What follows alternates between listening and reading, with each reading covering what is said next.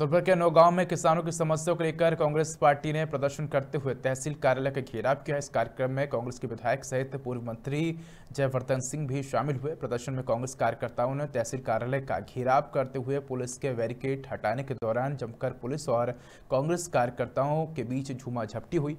इस कांग्रेस नेताओं ने किसानों की समस्याओं को लेकर एसडीएम को ज्ञापन सौंपा है। साथ ही कांग्रेस नेता जयवर्धन सिंह ने मीडिया से दावा किया है कि जिस तरह की परिवर्तन की लहर मध्य प्रदेश में चल रही है, उससे कांग्रेस की 170 सीटें आएँगी और कमलनाथ सरकार बनाएँगे।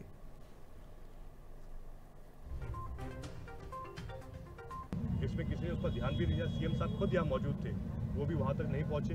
लेकिन हमारा तो इसमें एक ही, इसमें बयान रहेगा, एक ही हमारी मांग रहेगी कि जो पीड़ित परिवार है, उनको पर्याप्त मुआवजा और सहायता राशि मिलनी चाहिए। सरकार है, टिकट मांग सकते हैं, लेकिन आज के प्रदर्शन से साफ़ दिख रहा है, कहीं ना कहीं नीरज दीक्षित जी लगातार पाँच साल जनता के बीच रहे, उनकी लोकप्रियता जनता के बीच है, और मुझे पूरा विश्वास है कि आगे भी उनको जनता का आशीर्वाद मिलेगा।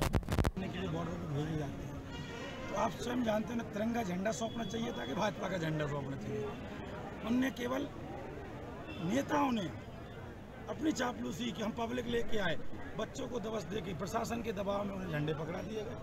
पूरा लोकतंत्र की हत्या हो रही है इस देश की। लोकतंत्र से सरकारें गिराई जा रही हैं, लोकतंत्र का कहीं महत्व नहीं समझा जा रहा है।